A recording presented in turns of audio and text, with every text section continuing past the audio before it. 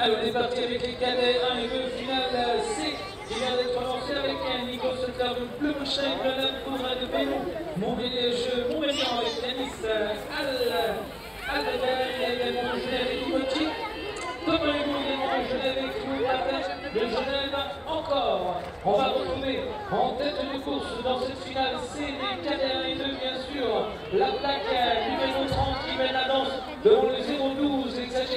2016. De Montmagnan qui occupe la première place. En deuxième position, on trouve le pilote de Blumstein, Nico Hossefer avec la plaque numéro 012. Et c'est Chloé Fatet, musée de Genève, qui prend la troisième place de cette Finaxi cadet 1 et 2.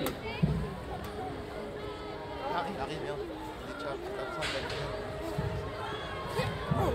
Alors, on est parti avec la finale B, 1 et 2, toujours. Après avoir vu la finale C, place à la finale B maintenant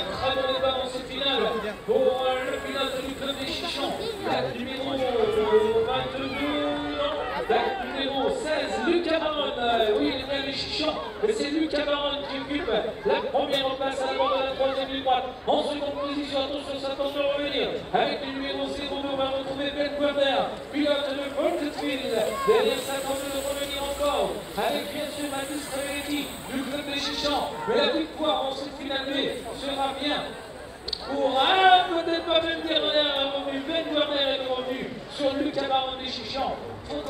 Pour départager les deux premiers de cette finale. On voilà la grille départ qui vient de s'abaisser, Zion Lemi ou Sébastien Gambiche. Avantage à Sébastien Gambiche qui est parti extrêmement fort. Zion Lemi va tenter maintenant de revenir. Il bien tout entraîné dans la première droite. Toujours Sébastien Gambiche, mais attention à Lemi qui est extrêmement proche de la voirie du leader et qui va peut-être déjà tenter l'intérieur maintenant dans le deuxième virage. Voilà sa place pour Zion Lemi, le pilote de cran. Avancé le pilote de Genève. Zion Lemi en tête et parti vers la victoire de cette Open dans la catégorie des cadets 1 et 2. Sébastien Gambiche qui revient quand même dans la dernière ligne droite.